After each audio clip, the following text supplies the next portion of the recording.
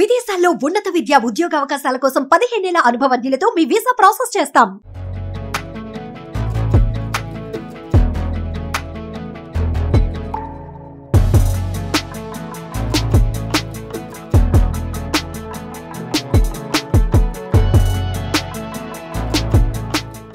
నమస్తే. Welcome to Suman TV. నేను మీ సీతారామరాజు. శీతాకాలం ఇంచుమించు వెళ్ళిపోతున్నట్టే. ఎందుకంటే శివరాత్రి వచ్చిందంటే అసలు శివ శివ అంటే చలి వెళ్ళిపోతుందంట. ఇక వేసవకాలం వచ్చేస్తుంది. ఇక వేసవకాలం వచ్చిందంటే తెలియదే ఉంది. దప్పిగా దాహం ఇవన్నీ ఉంటాయి. అందుకే పుచ్చకాయల సీజన్ వచ్చేసిందండి. ఇప్పుడు పుచ్చకాయలు ఎక్కడ చూసినా పుచ్చకాయలే. మనం నర్సాపురం టు పాలకొల్లు రోడ్లో ఉన్నాం. ఈ రోడ్లో ఇంచుమించు పదుల సంఖ్యలో పుచ్చకాయల షాపులు ఉన్నాయి. పుచ్చకాయ అంటే మీకు తెలియదే ఉంది. ఆరోగ్యాన్ని ఇచ్చేది పుచ్చకాయ. డాక్టర్లు కూడా పుచ్చకాయలనే ప్రిపేర్ చేస్తున్నారు. ఈరోజు పుచ్చకాయలు అసలు ఈసారి ఎలా ఉన్నాయి? ఈసారి సీజన్లో పుచ్చకాయలు ఎలా అమ్ముతున్నారు? అలాగే కస్టమర్లు రాకడ కూడా ఎలా ఉంది? ఇవన్నీ విశేషాలు కూడా ఈ ఎపిసోడ్లో తెలుసుకునే ప్రయత్నం చేద్దాం. మీరు కూడా నాతో ఫాలో అయిపోండి.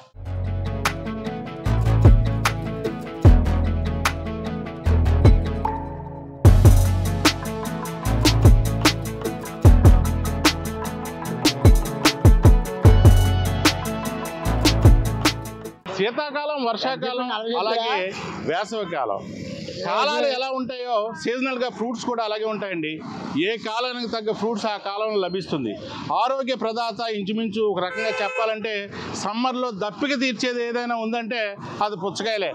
పుచ్చకాయల సీజన్ కూడా వచ్చేసిందండి. ఈ పుచ్చకాయలు కూడా గోదావరి జిల్లాలో గతంలో చాలా ఎక్కువ పండించేవారు.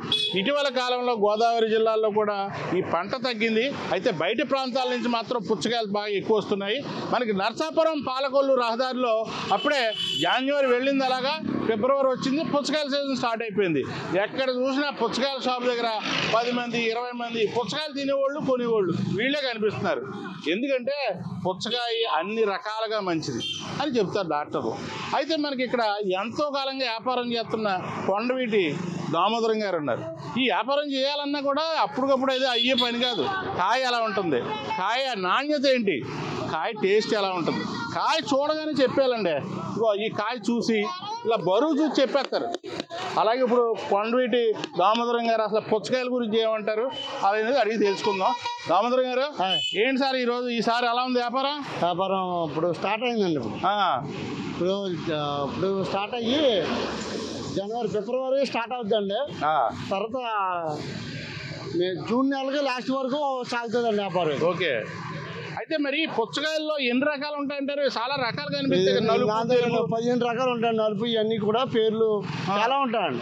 ఓ పదిహేను రకాలు ఉన్నాయండి. పదిహేను రకాలు. ఇది అయితే నాందేడ్ అండి ఇది చాలా బాగుంటుంది. ఎక్కువగా మన ఈ ఏరియాలో బాగా ఎక్కువగా వాడేది నాందేడ ఇదే నాందేడ. ఫస్ట్ నుంచి రాష్ట్రం నుంచి వస్తుందండి ఇదే? ఇది మద్రాసు నుంచి వస్తుంది. మద్రాసు నుంచి. అంటే సాధారణంగా ప్రతి సీజన్లో కూడా ఫిబ్రవరి పదిహేను ఇరవై తారీఖులో వచ్చి ఈసారి ముందు వచ్చేసి ఏంటంటారు? కదా ఎప్పుడు ఇంతే అండి ఎప్పుడు ఇంతేనా? ఎప్పుడు. అంటే ఫిబ్రవరి నుంచి ఫిబ్రవరి నుంచి స్టార్టింగ్ అయ్యి మళ్ళీ లాస్ట్ వరకు ఉంటుంది. June July.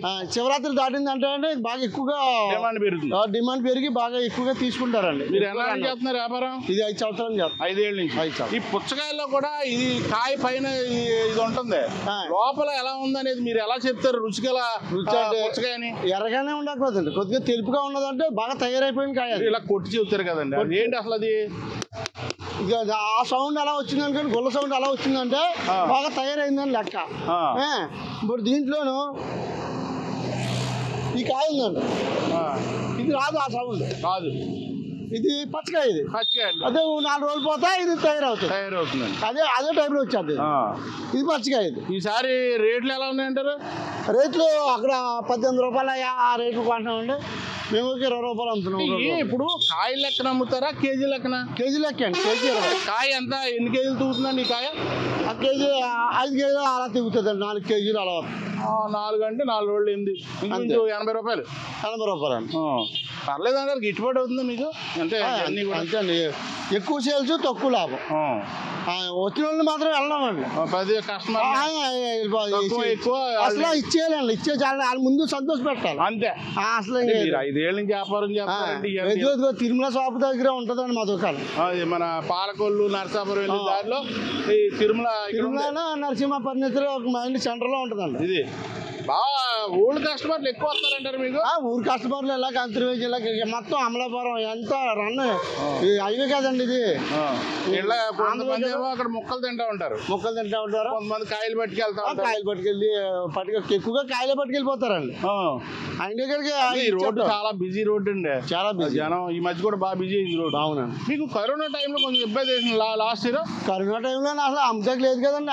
ఒక లారీ సరుకు కులిపోయిందండి అయ్యి వీళ్ళు ఎవరి ఇంటికాడ వీళ్ళ పరకలు కప్పటి వెళ్ళిపోయింది అయితే ఇప్పుడు ఆ లాభ నష్టాలు ఇష్టాలు అన్నీ కూడా ఈసారి. అదే. ఏదో ముఖ్యమంటే చూద్దాం అసలు చేసేయాలని చూద్దాం సరే అండి. ఇదండి దామోదరం గారు నాందేడు పుచ్చకాయ ఇది. నాందేడు పుచ్చకాయ అసలు ఎలా ఉందో చేసి చూద్దాం.